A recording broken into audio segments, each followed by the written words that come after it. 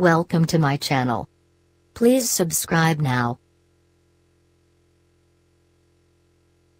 The redesigned 2018 Audi Q5 made its debut last year at the Paris Auto Show, so it was no mystery that a new version of the performance-minded SQ5 variant was on the way, we just didn't know when? It turns out that one is now.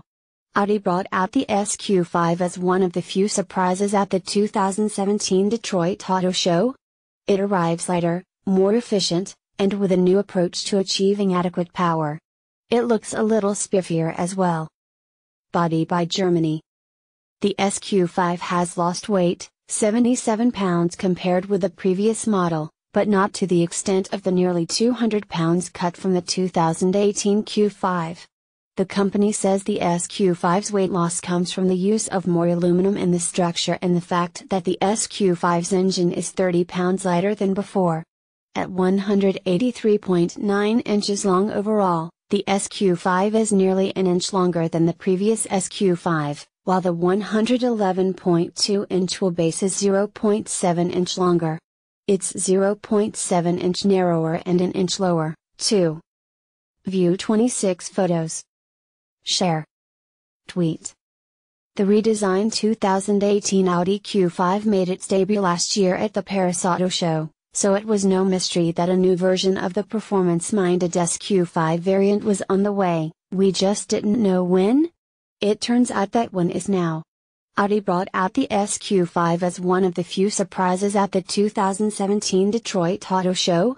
It arrives lighter, more efficient, and with a new approach to achieving adequate power. It looks a little spiffier as well. Body by Germany. The SQ5 has lost weight, 77 pounds compared with the previous model, but not to the extent of the nearly 200 pounds cut from the 2018 Q5. The company says the SQ5's weight loss comes from the use of more aluminum in the structure and the fact that the SQ5's engine is 30 pounds lighter than before.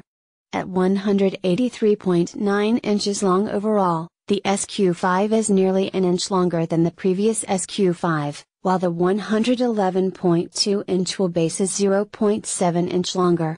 It's 0.7 inch narrower and an inch lower, too. View 26 photos.